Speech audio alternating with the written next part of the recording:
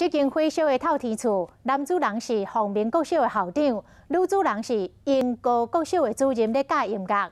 两阿母真诚心，收养已经失去着相亲的外甥甲外甥女。想袂到拄着半暝恶火，一家口啊死的有三个，消息里的回困。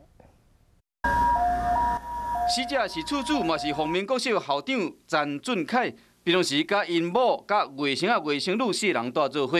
火灾现场发现讲，校长太太当时是倒伫二楼阳台，外甥啊是倒伫三楼，外甥女及时为他们跳出来保住一命。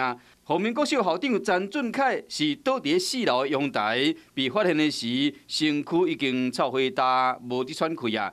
一场大火造成三死一伤的悲剧，依照现场的判断。这件火灾伊的导火点真有可能是伫二楼引起的。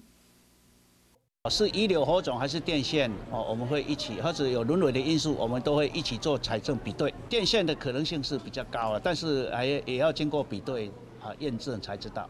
死者是凤鸣国小的校长詹俊凯，伊的太太嘛是英国国小的音乐老师，两人平常时是热心助人，并且对教育的热心，加学校学生时常互动。学生囡仔写过卡片、画图送予校长，看得出来，詹俊凯伫学校真受学生的敬重甲拥护。伊甲太太两个人有三个囡仔，因为上班的关系无住伫厝，真好心收养因小妹后生甲查某囝，想不到一场大会，带走学校的好校长、好老师，嘛互囡仔失去相亲，更加好这个家庭无法度过完全啊。